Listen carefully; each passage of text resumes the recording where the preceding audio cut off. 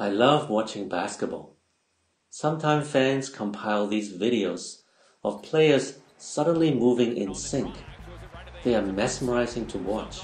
Connaughton on the drive, throws it right to the hands of Bledsoe. Connaughton on the drive, throws it right to the hands of Bledsoe.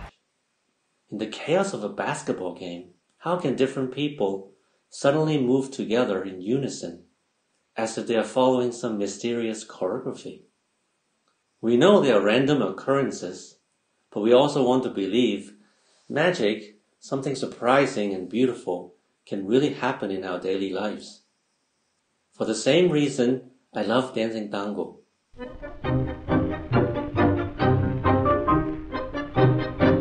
In social tango, there's also no choreography, but I can dance in perfect unison with my partner. It's like we know what each other is thinking. This sensation it's really hard to describe by words. Maybe that's what having a twin sibling feels like. I can create this connection with strangers in faraway places where I don't speak their language at all. Tango is not limited by gender, age, geography, culture, or race. If I make an invitation to the woman and she accepts my invitation, there's a good chance that I can create a magic connection with her on the dance floor. I want to talk about connection today because I've heard a story from someone. He has danced for more than a year and he has felt this connection with a few people. He wants to know how he can create this connection more often and with more people.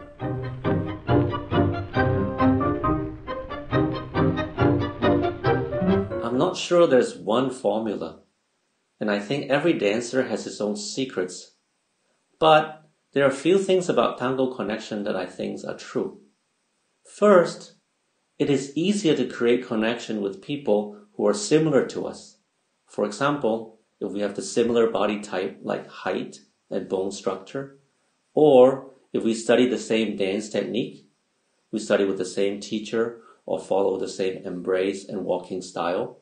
All those things make making connection with people easier because we are moving in similar ways.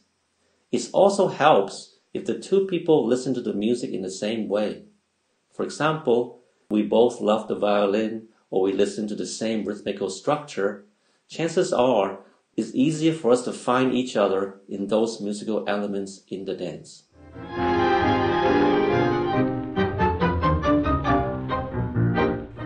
Second, Experience really helps.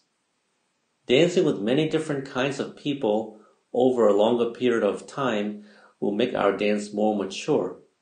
It will help us to understand how to make connection with people who are very different from us. If you have driven many different kinds of cars, chances are you'll become an expert driver.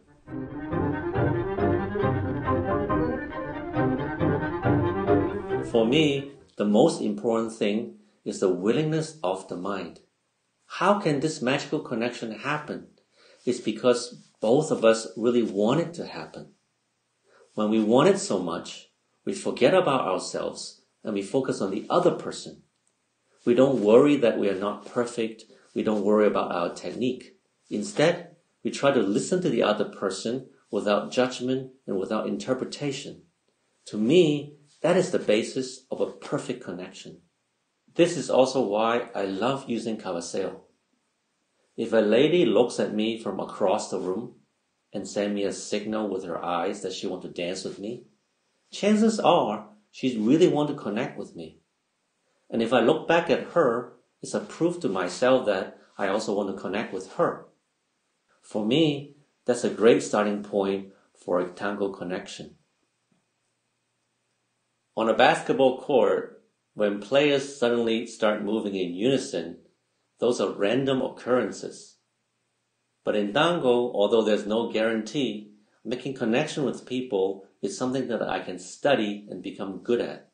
That's why I love tango. I love tango. We hope you enjoy our video. Please subscribe to our channel.